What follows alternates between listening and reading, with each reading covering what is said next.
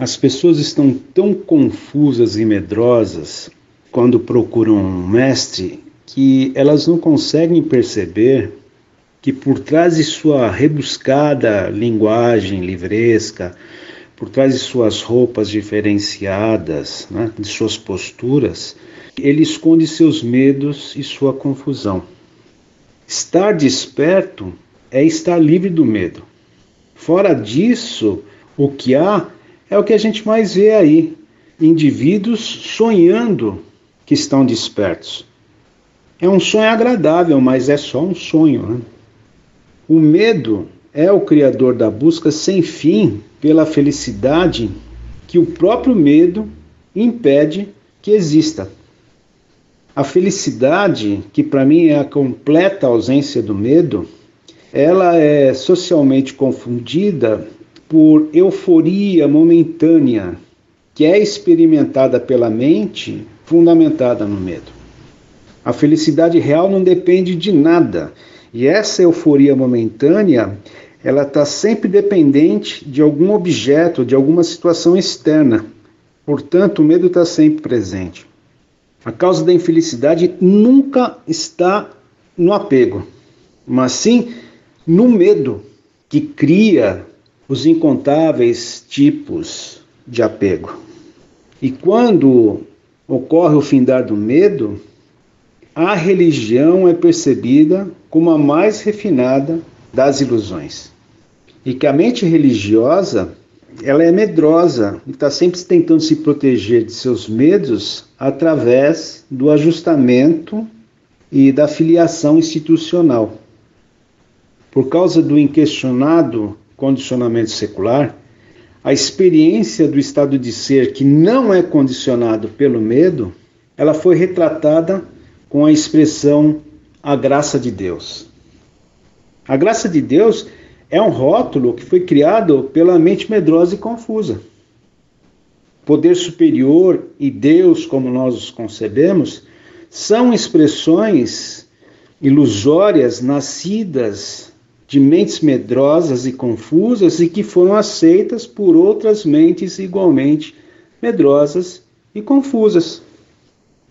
Quando você aprofunda na observação, você vê que o espiritualismo é o avesso da mesma moeda ilusória, cujo outro lado é o materialismo hedonista. O medo ele cria escassez, né, cara? Ele cria o problema e a partir dele mesmo ele cria uma solução que tanto uma quanto a outra é ilusória, né, cara?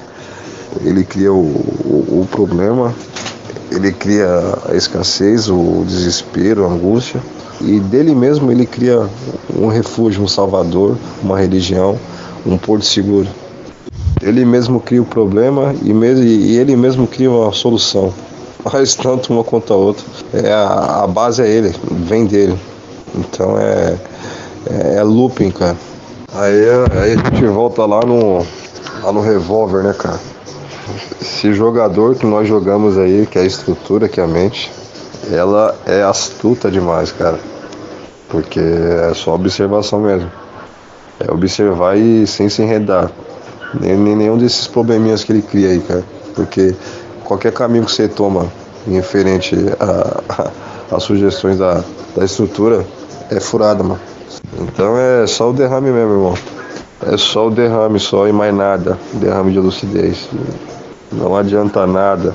Se acontecer, acontecer. Se não acontecer, vai observando até, até quando der, né?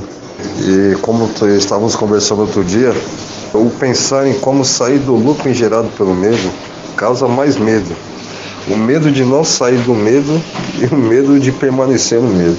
Olha a, a, base, cara, como é bem elaborado, né?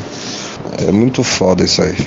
E acho que é mais foda ainda você é, observar e ter chegado nessa conclusão aí, e ter chegado nessa visão. Que muitos não, não observaram ainda.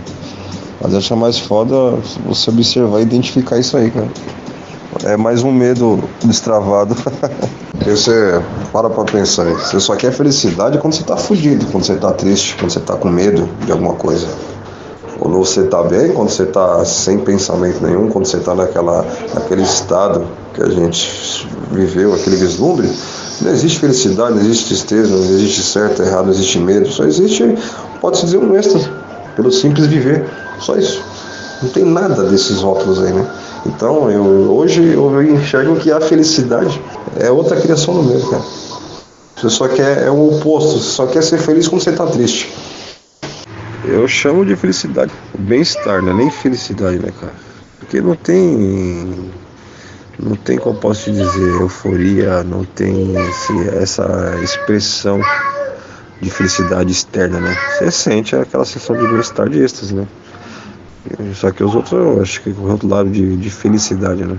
É que quando, eu falo essa palavra felicidade, né? Acho que ela já tem um, uma base né, na cabeça mental das pessoas, né? Que é se viver sorrindo, se viver em, em expressão né, externamente, né? saltitando, viver embaçando todo mundo. Ah, o cara é feliz ali e tal. Mas é, nesse estado que a gente viveu, nesse vislumbre aí, você viu que pode não ter expressão externa, mas com você mesmo você sabe que, que é totalmente diferente, né, cara? Eu não tenho dúvida alguma de que a busca da felicidade é uma criação do medo, porque você vê a, o indivíduo quando nasce. Olha a criança. A criança é felicidade pura, velho. Ela é felicidade pura. Ela se encanta com tudo. Ela se maravilha com tudo. Instalou o medo, ela perde tudo isso. E aí passa a buscar a volta do paraíso, né? Que é o viver sem medo.